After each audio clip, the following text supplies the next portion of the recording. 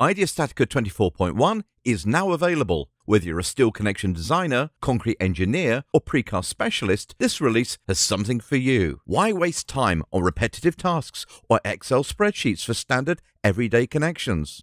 No matter if you're a junior engineer or a seasoned pro, 24.1 offers you 50 ready built parametric templates for typical steel connections. Need something more specific? You can create your own templates and enjoy a unified approach to connection design without relying on multiple tools. The Checkbot app now automatically recognizes typologies and arrangements, speeding up project organization, reducing manual input, and enhancing project management. Plus, with the possibility of user created design groups, users can now apply one design to multiple connections.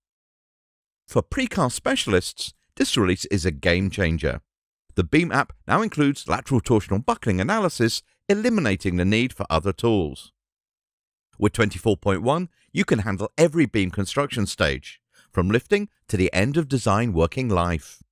We've also integrated pre-stressing into the lateral torsional buckling analysis for pre-tension beams, ensuring accurate assessments and optimizing performance. The new SLS combinations in the Detail app align with various national annexes for crack width and deflection checks.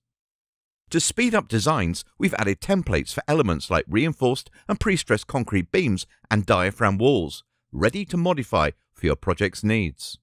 Now, the most anticipated update, 3D anchoring is out of beta and verified. You can start your design from scratch or export the baseplate design directly from the connection application.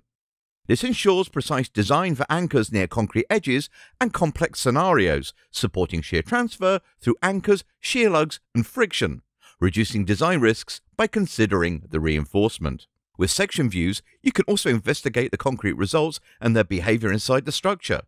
This new method lets you co-check anchoring in reinforced concrete, because it considers all defined reinforcement, it can assess not only new structures, but also recalculate existing structures in 3D without complex tools, hand or guesswork, allowing thorough design reviews and optimization. There's more. The Connection app is faster, with shorter startup times and optimized memory usage. UI enhancements like the measuring tool and DXF plate import help simplify your design work. And ever had the situation where you had 10 welds in your model and needed to change their size one by one?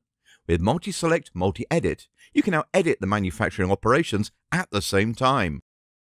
Eurocode improvements now offer you choices between 1993 1.8 and 1992 4.